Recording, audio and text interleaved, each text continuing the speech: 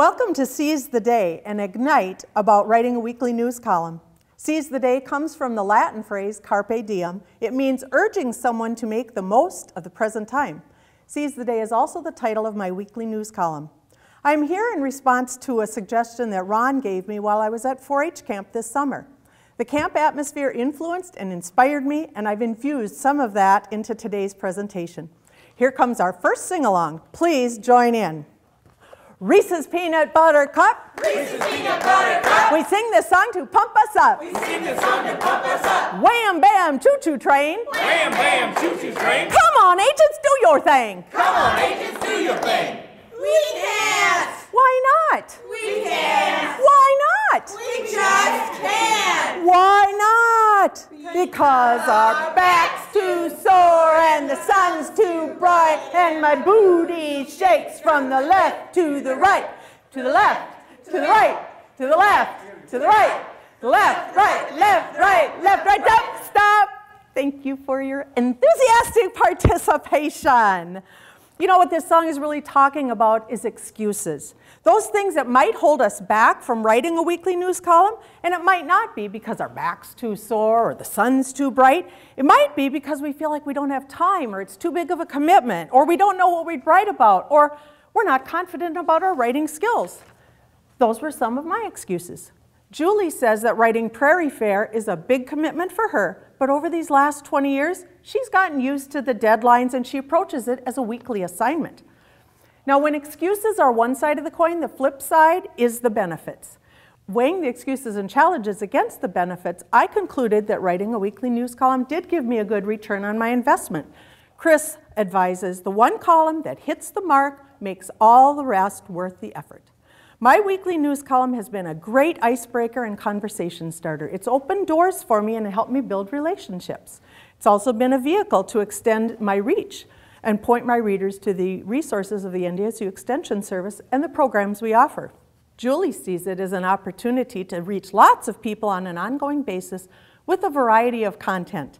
She learns new things by researching the topics for her column, and it's taught her discipline, kept her aware of current consumer trends and scientific research. So if you're considering writing a weekly news column, you might ask yourself, what would it take to get the job done? Guess what? Hippo Song from 4-H Camp asks a similar question. Here we go again. Please join in. What can make a hippopotamus smile? What can make a hippopotamus smile? What can make him walk more than a mile? What can make him walk more than a mile. It's not a party with paper hats. It's not a party with paper hats. Or cake and candy that make him fat. Or cake and candy that make him fat. That's not what hippos do. That's not what hippos do. They ooze in the goose without any shoes. They ooze in the goose without any shoes. They wade underwater till their lips turn blue. They wade underwater till their lips turn blue. Now that's what hippos do. Now that's what hippos do. Thanks for your enthusiastic participation once again. So the question is, how do we go about writing a weekly news column? The first task is that of choosing a topic or finding the material for the column. Brenda gave the suggestions you see here. And in the world of family and community wellness, my experience is that life itself provides the inspiration and the timely topics. We just need to pay attention to what's going on around us in our families, in our communities, what's trending on social media, and in consumer groups. My son's move to an apartment inspired me to write a news column on renter's insurance. And the inspiration for writing about non-fat dry milk came from a recent incident when I was trying to prepare a chicken and dressing slow cooker meal that called for milk, and I had none. Another way to choose a topic is by looking at our publications. Any favorite or new publication can become a topic for a news column. Most columns I write direct the reader to the NDSU Extension website or to one of our online publications. To customize and personalize my column, I often start by telling a personal story. This helps the readers connect with me and it adds value to the column by tying the information to the real world. As Chris says, always bring yourself to what you write. He also advises, some columns are just fill, others are worth the read.